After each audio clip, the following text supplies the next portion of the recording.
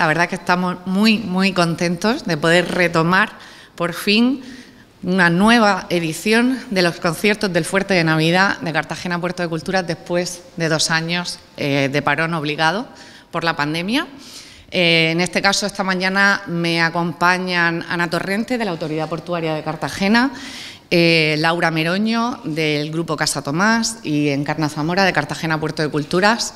quiero agradecer a la Autoridad Portuaria del Grupo Casa Tomás su colaboración y su contribución para hacer todavía más grande esta edición, esta nueva edición de los conciertos del Fuerte de Navidad. Llegamos ya a la novena edición de una iniciativa cultural que combina lo mejor de nuestro patrimonio, de nuestro paisaje y de nuestra música.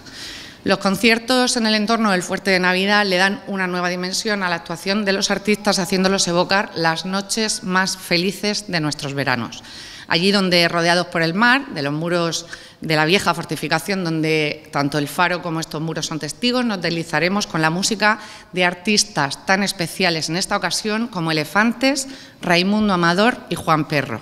Una música que nos llenará de felicidad, como es el caso de Elefantes, al celebrar sus 25 años en el escenario, pues el 17 de junio estarán compartiendo sus canciones de amor ante un reducido público y conseguirán que se sientan unos privilegiados por escucharlos allí.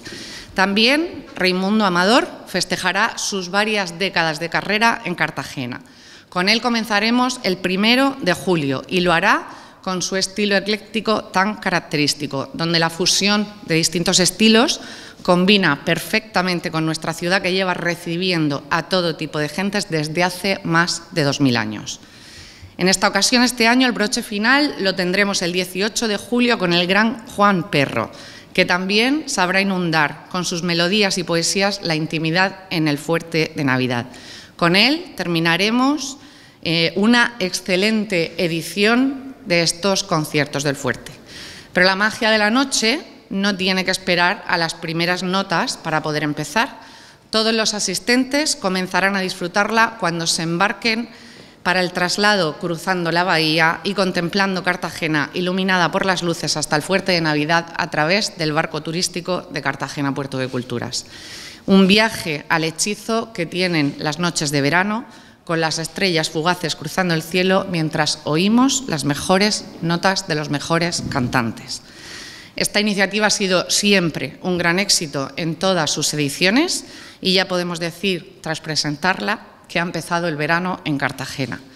Para poder adquirir las entradas solo tienen que entrar en la página web de cartagenapuertodeculturas.es y ahí podrán tener mucha más información.